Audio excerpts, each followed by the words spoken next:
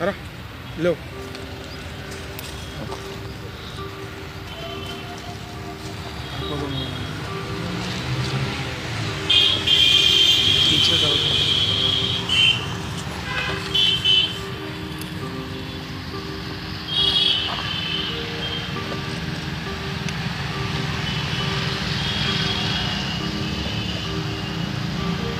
अब मैं इनसे बात कर रहा हूँ दीदी एक सेकंड। अब आप बताइए आपका मैं जब से इंडिया आई हूँ, यहाँ पर लोगों को देखती हूँ, जहाँ खड़े होते हैं, वहाँ से थूकते हैं। मतलब कोई सिविक सेंस नाम की चीज़ ही नहीं है। जहाँ खड़े होते हैं, वहाँ ये दारू की बॉटलें देखो। ये मैं बोतलें यहाँ पे मैं एक्सरसाइज करने आती हूँ और लोग इतनी गंदगी डालते हैं।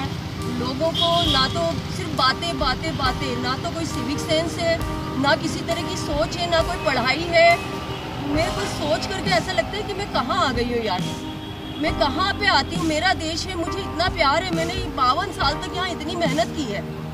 और देखती हूँ जहाँ देखती हूँ सिर्फ़ गप्पे हाँ हाँ ही ही किसी को सोचने की फुर्सत ही नहीं है पढ़ने की फुर्सत ही नहीं है।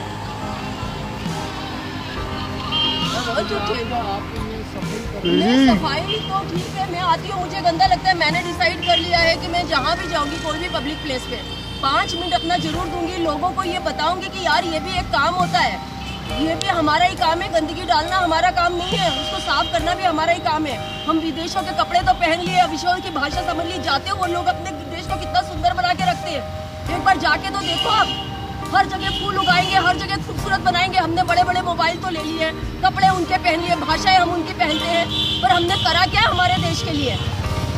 ये तो मेरे को कोई बताए। कि हमने कौन सी अच्छी बात कर दी अपने देश के लिए? सॉरी मेरे को पता नहीं है मेरे को मेरे को पर बहुत दिल से मैं जब आई हूँ बहुत बुरा लगता है। मैं सोच करके मैं महिलाओं को देखती हूँ मुझे बहुत बुरा लगता है।